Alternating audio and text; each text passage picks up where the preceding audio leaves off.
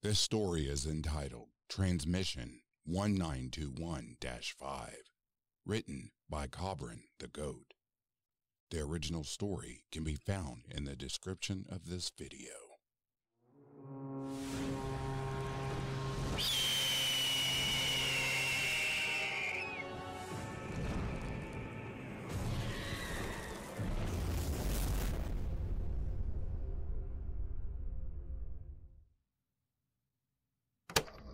Downloading transmission 50%.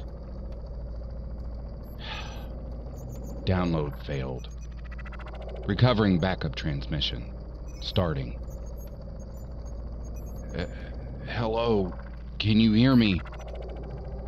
My name is Rafael Senzino, clearance code 8762531. I'm employed by we had been tasked with helping with the Hadron Collider, well, more like exploring what it opened. You see, it is more than what was told to the public. When it was turned on, it opened a portal, a wormhole. Hell, I'm not sure what to call it.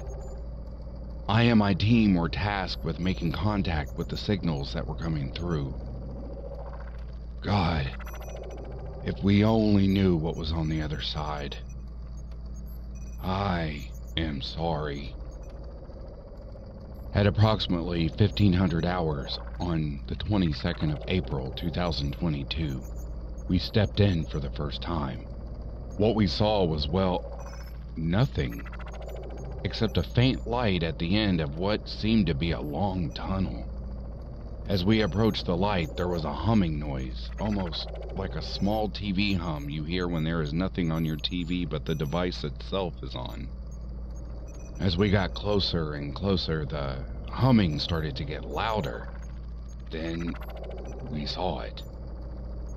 I don't know what to call it. I guess in some areas it would be called a mimic, but I am not sure. It looked just like me every detail perfect, but here's the thing. Each member of the team saw themselves. It could only take on multiple forms at one time based on the person viewing it. Then it spoke.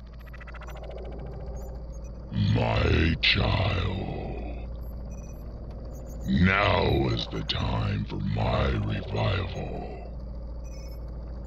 For 3,000 years I stood here waiting, waiting for the gate to be opened, and for my rule to start again. Confused, I looked at my second in command, Sergeant Lutteral, but I noticed he was down on one knee as if praising this entity. As I looked around, so was everyone on my team. What was this madness?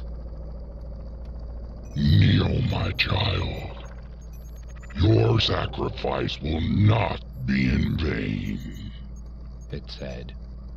For I shall return to the old world in your place, to start my kingdom once again. It was at this time I retreated to the gateway. I hear it gaining on me as I ran. You'll not escape this. Please just let me in. It shrieked as I sprinted. I made it back to the gateway, and the gateway closed behind me. Out of breath, I looked around and saw the team of CERN. Puzzled, they asked me what I saw. I recounted my experience, every detail I could. Yet, no one seemed fazed by what I had told them. Then, one person finally spoke up and said, So the legends are true. He is real. My time is short. They plan on opening it up again and summoning whatever that thing is. I am sending this out to stop their plans. Wait, uh, what? You already here? End transmission. Backup transmission terminated. System files purged. Praise him.